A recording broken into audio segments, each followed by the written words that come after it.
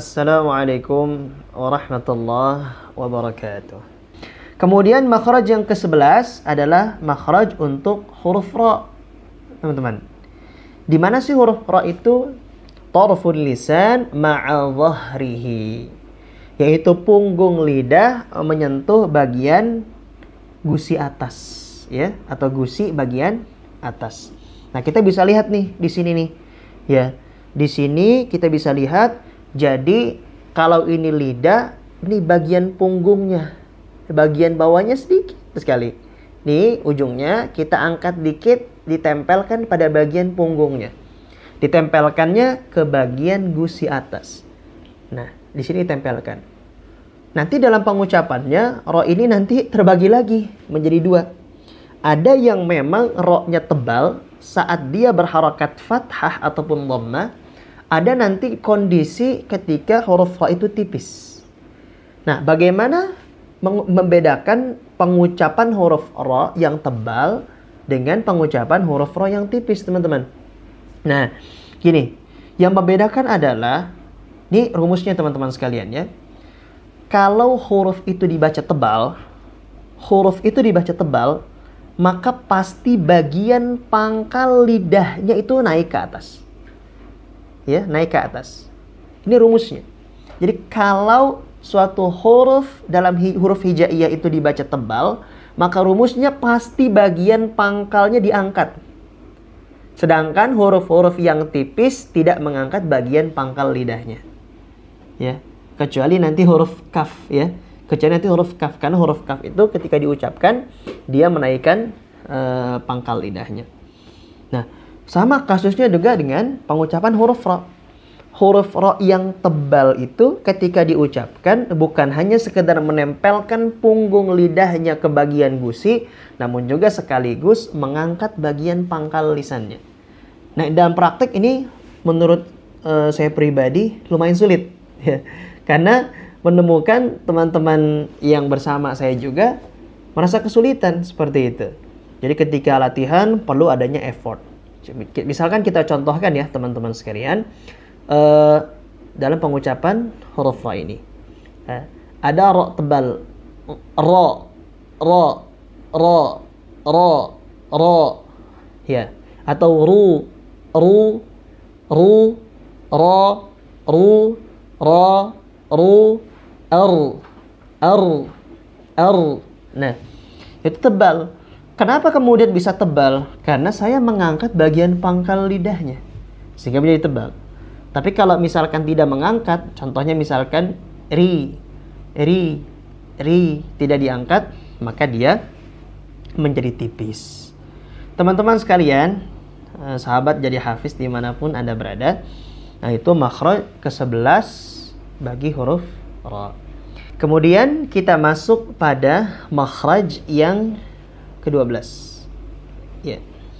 Makhraj yang ke-12 ini, teman-teman, kita mendapati ada tiga huruf di sini, yaitu huruf to, huruf dal, dan juga huruf ta.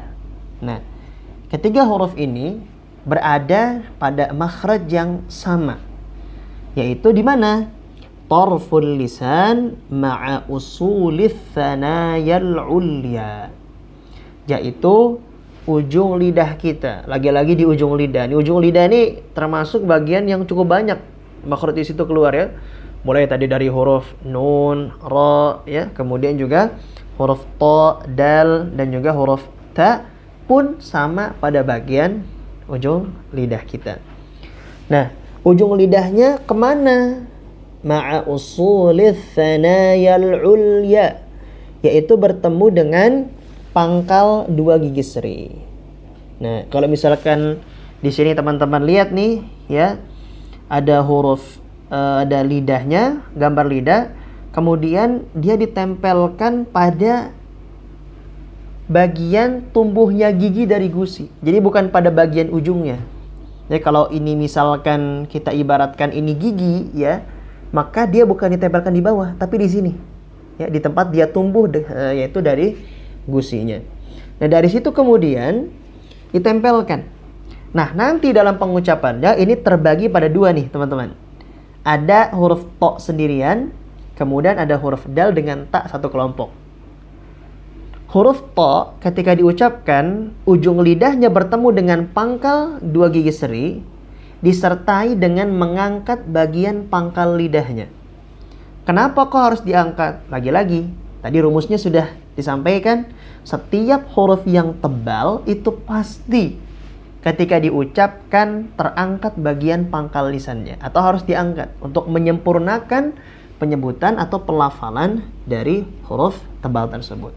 Jadi kalau kita contohkan to, to, to, to, ya bagiannya sudah tepat, sudah ditempelkan, kemudian pangkal lisannya terangkat, maka sempurnalah pengucapan huruf to-nya.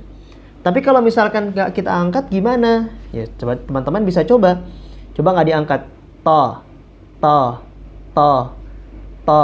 Kita ucapkan to. Tapi karena tidak terangkat, maka tidak sempurna. Begitulah kemudian huruf to diucapkan. Selain dia menempelkan ujung lidahnya dengan pangkal gigi seri, dia juga mengangkat bagian pangkal lisannya. Kemudian nanti yang kedua adalah huruf dal dengan huruf ta. Karena keduanya huruf tipis, ya, maka dibaca tidak terangkat pangkal lisannya atau e, bagian pangkal lidahnya. Seperti yang di sini teman-teman nih, di bagian gambar yang kiri, yaitu kita baca da ta da ta da ta da ta. Seperti itu. Nah, itu untuk makhraj ke-12 yaitu ujung lidah menyentuh pangkal dua gigi seri dan mengeluarkan tiga huruf dari situ. Kurang lebihnya mohon maaf. Assalamualaikum warahmatullahi wabarakatuh.